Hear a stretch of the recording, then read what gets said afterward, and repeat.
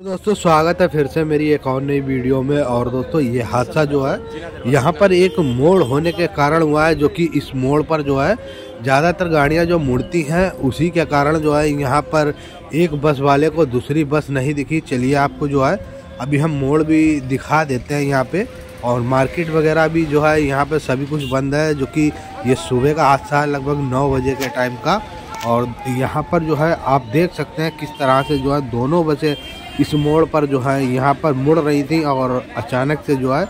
दूसरी बस आने के कारण जो है, यहाँ पर इतना खतरनाक तरीके का हादसा हो गया। चलिए, गलीमत की बात इसमें यह रही कि गाड़ियों के ड्राइवर और सवारी वगैरह जो भी थी, बिल्कुल सेफ़ हैं और ये जो हादसा है, जलालपुर गाँव का है और यहाँ पर जो है, आप देख सकते हैं,